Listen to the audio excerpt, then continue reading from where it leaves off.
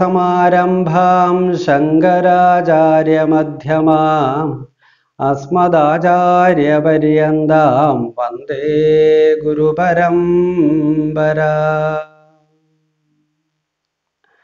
ശ്രീമദ് ഭഗവത്ഗീതയിലെ ദൈവാസുര സമ്പദ് വിഭാഗ യോഗം എന്ന പതിനാറാമത്തെ അധ്യായത്തിലെ പത്താമത്തെ ശ്ലോകം വരെയാണല്ലോ കഴിഞ്ഞ ദിവസം നമ്മൾ കണ്ടത്. ഇവിടെ ആസുരി സമ്പത്തിന്റെ വിജൃംഭിതമായ ഭാവത്തെയാണ് ഭഗവാൻ വിശദീകരിക്കുന്നതെന്ന് അവർക്ക് പ്രമാണമായിരിക്കുന്നത് ആഗ്രഹങ്ങളാണ്.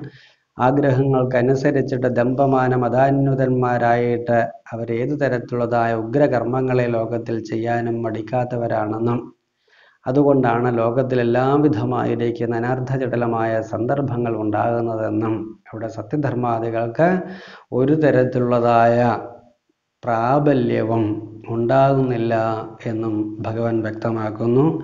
ഈ സന്ദർഭത്തെ തന്നെയാണ് തുടർന്നുള്ളതായ ശ്ലോകത്തിലൂടെയും ഭഗവാൻ വർണിക്കുന്നത്. നമുക്കത് ശ്രദ്ധിക്കാം.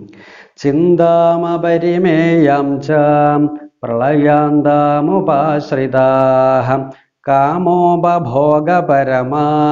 ഏതാവതിഥി നിശ്ചിതാഹ എന്ന് കാണിക്കുന്നു. അപരിമേയാം പ്രളയാന്താം ചിന്താം ആശ്രിത്യ ഇത്രയെന്ന അവധിയില്ലാത്തതും അന്ത്യശ്വാസം വരെ നിലനിൽക്കുന്നതും സുഖഭോഗമെന്ന വിചാരത്തോടു കൂടിയതുമായ ആ ചിന്താപദ്ധതിയെ ആശ്രയിച്ചവരായിട്ട് കാമോപഭോഗപരമാ.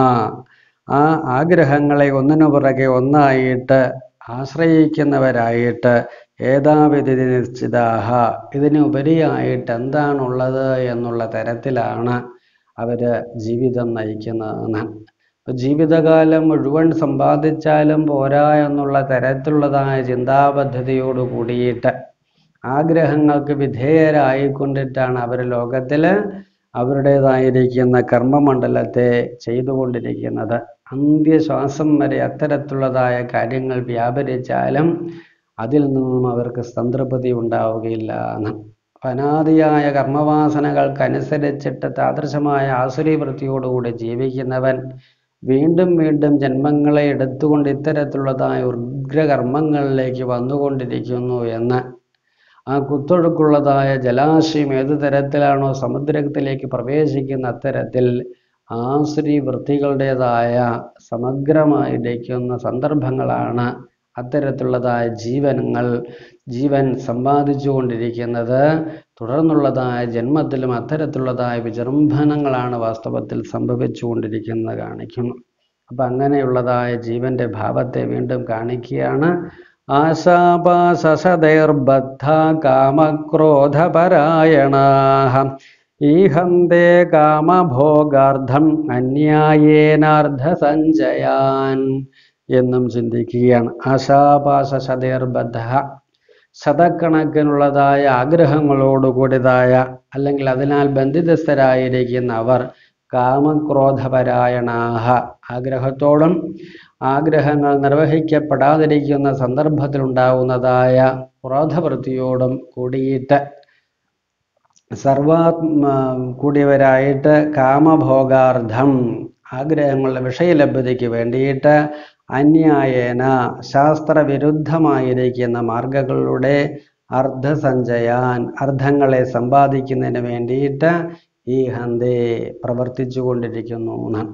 ശതക്കണക്കിനുള്ളതായ ആശകളാൽ ആഗ്രഹങ്ങളാൽ ബന്ധിതരായിരിക്കുന്ന ജീവന്മാർ എല്ലാ തരത്തിലുള്ളതായ ധാർമ്മിക ബോധത്തെയും ഉന്മൂലനാശം ചെയ്തുകൊണ്ടിട്ട് കാമഭോഗങ്ങൾക്ക് വേണ്ടിയിട്ട് സദാപി പ്രവർത്തിച്ചു കൊണ്ടിരിക്കുന്നു എന്ന് ഈ സന്ദർഭത്തിലൂടെ വ്യക്തമാകുന്നു. വീണ്ടും അവരുടെ ബീഭത്സമായിരിക്കുന്ന പ്രവർത്തനങ്ങൾ ഏതു വിധേനയാണ് എന്നാണ് തുടർന്നുള്ളതായ നാല് ശ്ലോകത്തിലൂടെ ഭഗവാൻ ഇവിടെ വിവരിക്കുന്നത്. നമുക്കതും കൂടി ശ്രദ്ധിക്കാം. ഇതമദ്യമയാ ലബ്ധം ഇമം പ്രാംസ്യേ മനോരഥം. ഇതമസ്തീതമപി മേ ഭവിഷ്യതി പുനർധനം. അസോമയാ ഹതശത്രുർഹനിഷ്യേ ഈശ്വരോഹമഹം ഭോഗി സിദ്ധോഹം ബലവാൻ സുഖീ.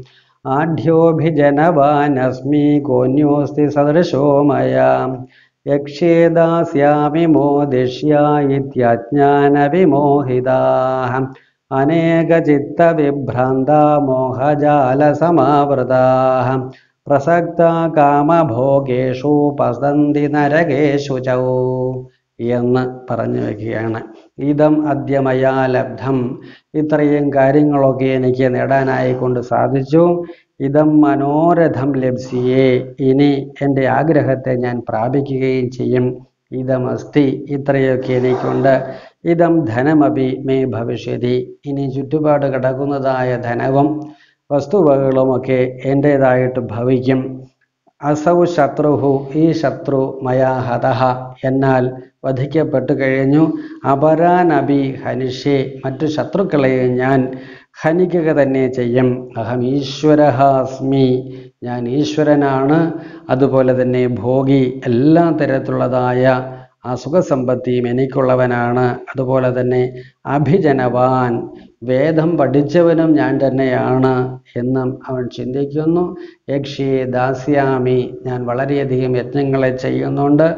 ദാനധർമാദികളെയൊക്കെ ചെയ്യുന്നുണ്ട്. ലോകത്തെ സന്തോഷിപ്പിക്കുന്നുണ്ട്.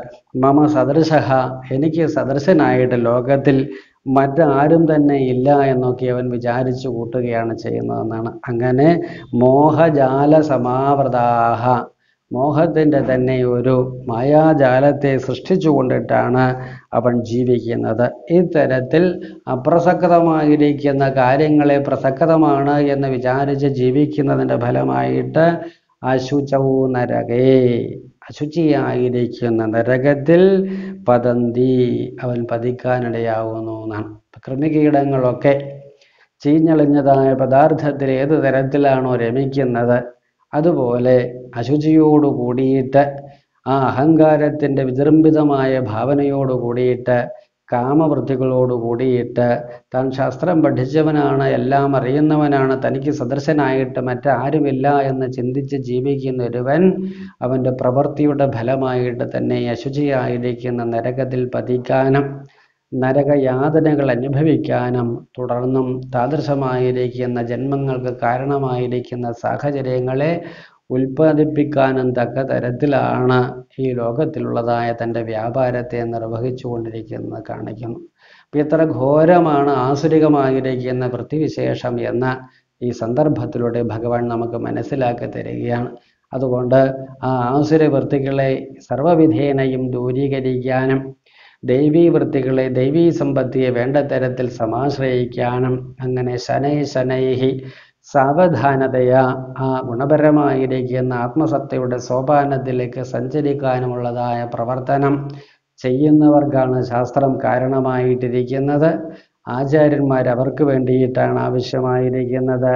അതുപോലെ ആ സത്യധർമാദികളിൽ അധിഷ്ഠിതമായിരിക്കുന്ന യജ്ഞദാന തപസ്സുകളും അതുമായിട്ട് ബന്ധപ്പെട്ടിട്ടാണ് നിൽക്കുന്നത്. അതുകൊണ്ട് അങ്ങനെയുള്ളതായ ഗുണഗണങ്ങളാണ് ജീവിതത്തിൽ പരിണയിക്കേണ്ടതായിട്ടുള്ളത്. അല്ലാത്തതിന്റെ സ്വീകാര്യത കൊണ്ട് സർവനാശമാണ് അശുചമായിരിക്കുന്ന നരകത്തിലേക്കാണ് നമ്മൾ പതിക്കുന്നത് എന്ന് ഈ സന്ദർഭത്തിലൂടെയും ഭഗവാൻ വ്യക്തമാക്കി തരികയാണ് ചെയ്യുന്നത്. ബാക്കി ഭാഗം നമുക്ക് അടുത്ത ദിവസമാകാം. ഹരി ഓം.